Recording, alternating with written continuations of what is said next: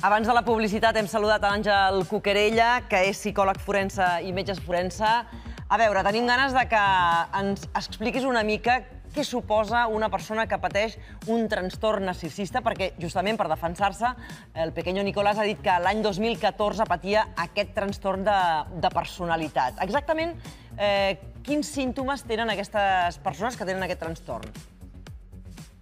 Bé, en, hola, en primer lloc. Eh, en principi, un, a veure, un trastorn de personalitat sempre diríem que és un patró inflexible i desadaptatiu de, de trets de personalitat determinats. És a dir, és una persona que és d'una manera molt peculiar, molt estranya, clarament diferent a la gent que té al seu voltant. Per això diem que té un trastorn de personalitat. No? El trastorn de personalitat es, es, es neix amb ell o es va desenvolupant fins a l'adultesa durant tota la vida es té. No és com una grip o com una malaltia mental que pot anar brots.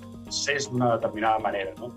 I en quant al trastorn concretament narcisista de personalitat, bé, doncs és un, en principi seria un patró de, de, de, de trets, un patró dominant eh, amb trets de grandesa, de, de, de manca d'empatia, de necessitat d'admiració, i són gent que, bueno, que consideren que poden tenir uns privilegis pel fet de ser ells o elles mateixes i eh, que tenen aquestes expectatives de privilegi i que també poden ser persones altament explotadores del seu, del seu entorn. Diguéssim, és tot un, tot una dimensió. Hi ha gent una mica narcisista, bastant narcisista, i quan ho és molt, diem que té un trastorn de personalitat narcisista, narcisista que té uns trets de personalitat que, diguéssim, arriben a, a la categoria de, de trastorn de personalitat. Eh, és permanent. Hi ha, hi ha altres casos coneguts, casos a la història que, de trastorns com aquest que hagin portat a, a grans despropòsits, com tot això que estem seguint ara a través d'aquest judici. No sé si, per exemple, Donald Trump podria ser o encaixaria amb aquest prototip.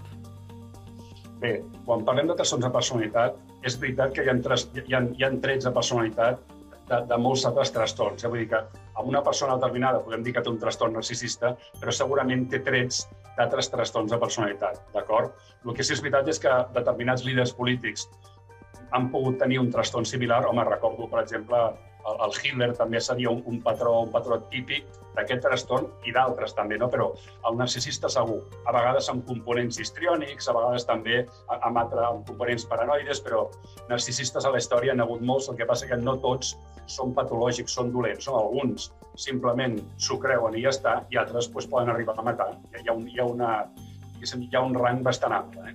Perquè eh, entre aquest trastorn narcisista i un mentider compulsiu, per exemple, es poden establir punts de connexió? Sí, sí, home, un, un narcisista, un, un psicòpata, un, un, un, una personalitat histriònica, els tres, per exemple, tindrien com a peculiaritat eh, la capacitat de manipular i la capacitat de, de voler ser el centre d'atenció. Doncs quan un vol ser el centre d'atenció ha de mentir, no? El problema és que amb aquestes persones eh, eh, la mentida o la capacitat de la mitomania aquesta que tenen o aquesta compulsivitat en mentir ja és innata, o sigui, els hi surt sense esforços, no l'han après, l'han desenvolupat, però ja la tenien des de petits o des de petites. Ja. Clar, l'hem sentit dient al pequeño Nicolás que ell té aquest trastorn. En termes jurídics, eh, de què eximeix agafar-se aquest argument? De res. De, de res. En general, en general qual, qual, eh, a veure, si parlem de jurisprudència, si parlem de delictes, el, el que sigui, eh, els quals, diguéssim, s'alega un trastorn de personalitat de veritat, de veritat, o sigui, un diagnòstic de, de trastorn de la personalitat, en principi, si no té res més afegit, si no té tòxics, no té una malaltia mental greu associada, no té altres coses, en principi, a vegades no arriba ni a l'atenuant simple. Vull dir, yeah. una, una personalitat peculiar és una personalitat com, com la resta de persones, no és una malaltia mental greu, per tant... Aleshores tampoc no... entenc per què ho ha dit, perquè si no té cap atenuant, què, què ha sumat per ell? Amb la seva estratègia de defensa, què li ha sumat d'això? Bé, és que dir, dir que un té un trastorn eh, sembla molt fort, però bueno, a la presó ha el, el 70% de persones tenen trastorn antisocial i, i, i no estan malament del cap. Vull dir ja. que dir trastorn vol dir que és diferent a la resta, en aquest cas. Sí, diferent sí, sí. a la resta no és patològic. Li puc preguntar... Perdona, perdona, Sílvia. Li puc preguntar si... Mm, és a dir, quan vostè segueix aquest cas del pequeño Nicolás, si el veu un narcisista o és una excusa que ell ha posat o és un argument que busca per intentar trobar un atenuant? O és un oportunista?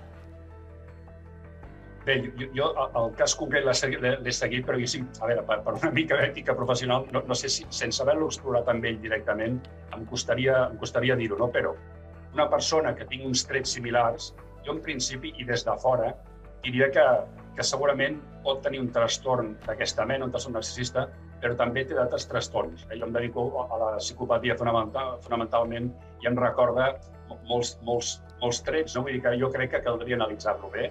No té, no té cap malaltia mental greu i, i en principi, una persona així eh, no tindria per què eximir-se de res. Però caldria explorar-la, caldria explorar-la i, i perfilar molt bé, perquè aquí hi ha molta tela en quant a personalitat, molta. Uh, Sílvia.